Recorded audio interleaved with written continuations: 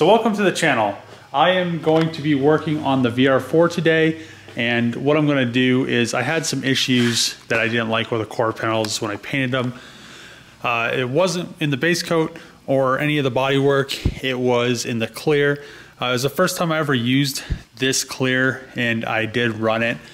Unfortunately, there were a few dry spots in this area right here and this area right here as well.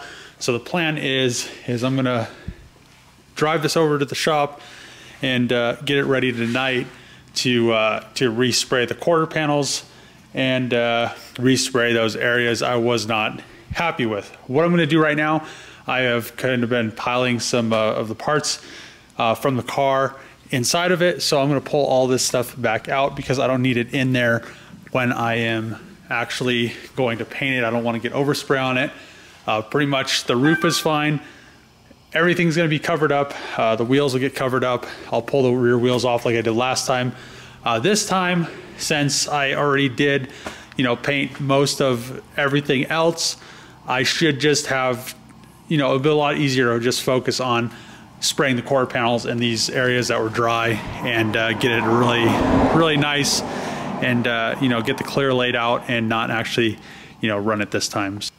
Just got done pulling all the random stuff out of the VR4 so I could drive it over and uh, get it ready for paint. I uh, definitely hope this time around, you know, I, I, I, hopefully I learned from the clear mistake last time. The roof laid out like super nice, but you know, once once the quarters are done, I could pretty much start putting the whole car back together. And uh, once the quarters are done, I'm going to paint the brake calipers I ordered these StopTech braid lines. So just uh, some more stuff to do. So I'm gonna drive the VR4 over to the shop, but there's no windshield, no glass in it. Uh, when I drove it over here, it was like, I think 100 degrees out. Today, I think it is 50 degrees out. So it is gonna be very cold, no doors, nothing.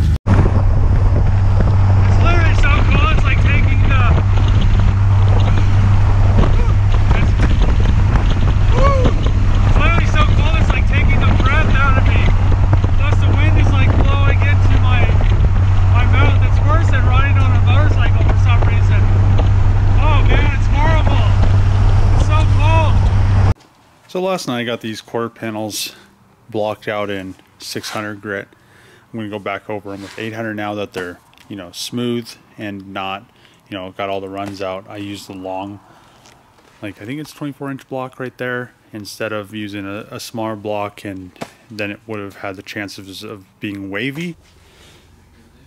All right, so I've been sanding the quarter panel and I also got in this door sill area and down here. So the plan is to pretty much backmask right here on the seam and then up here and then uh, paint all of that. I still need to, this is a little bit dry, so I need to do the same thing as I did over there. But I uh, am just gonna paint this area, not the whole thing, and use that seam as well and that seam. So last night I pretty much got everything scuffed. I need to still uh, the quarter panels are done. This side, the uh, you know that part of the door so like I said before, I wanted to do. And these, uh, see you can still see it's a little bit shiny. I need to get some scuff stuff and an emery cloth and uh, scuff that. But this is scuffed uh, as well. The only thing I really need to, you know, get really well is uh, this was on, uh, right here wasn't bad but up here, no, actually right here was where it was a little bit dry.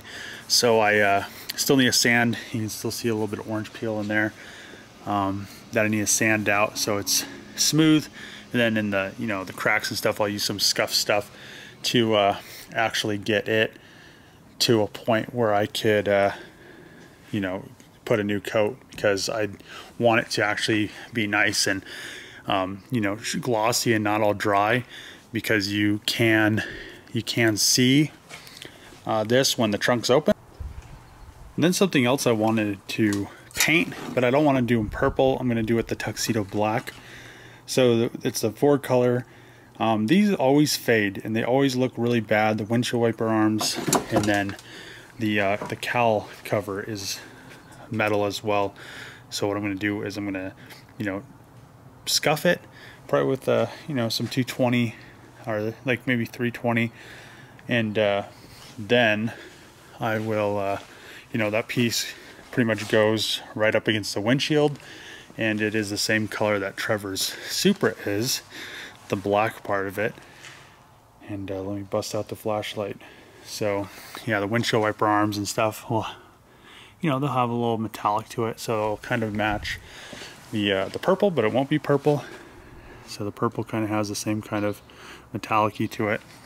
And uh, then I will uh, have some decent looking windshield wiper arms instead of those, you know, look how faded this thing is. It's just ugly. And they all do this.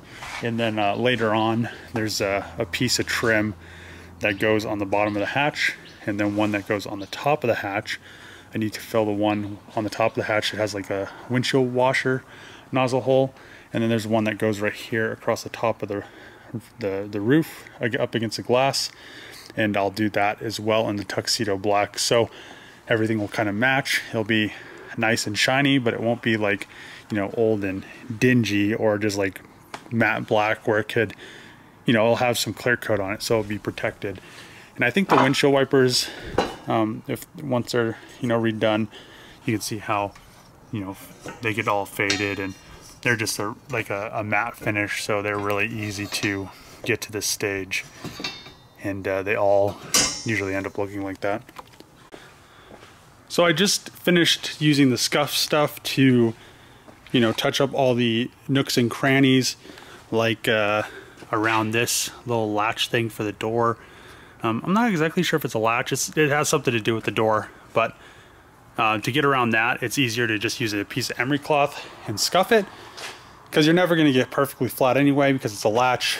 Uh, also with like seams and stuff around here, you can see it's all dull and uh, that's because you get in there with a little piece of emery cloth and scuff it. So the quarter panels and everything that I'm going to repaint, the part of the door sill right there you can see is dull. Right there you can see it's dull and the centerpiece was fine.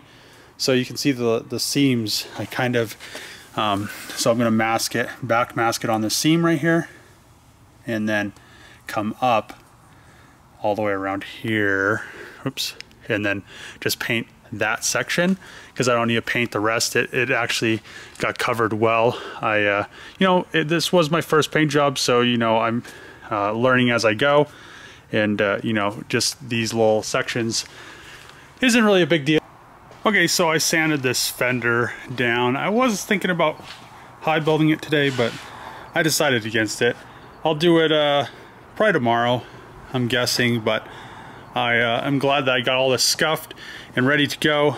I uh, have noticed a, a few areas that I missed right there. There's a little shiny spot. I need to scuff that a little bit better. But otherwise it is uh, you know, pretty much ready to go. And uh, either tomorrow or the next day, I should be able to repaint these quarters and the, the scuff spots and then clear it. And then I should be good to go with that. Um, once I am done with that, I'll be able to put the new subframe in with solid bushings, the new diff bushings in, the rear steering delete, and uh, you know fix this whole camber issue. So the, uh, the back wheels are definitely cambered in. Uh, they're 18 by 9.5 and a half, uh, I do want to fix that so it has zero camber in the rear because the front is zero camber. So I'll have a little bit more meat on the ground. You can see exactly where the tire is wearing.